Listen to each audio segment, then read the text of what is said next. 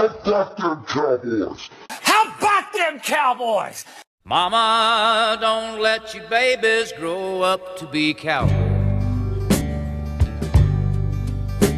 Don't let them pick guitars and drive them old trucks. Make them be doctors and lawyers and such.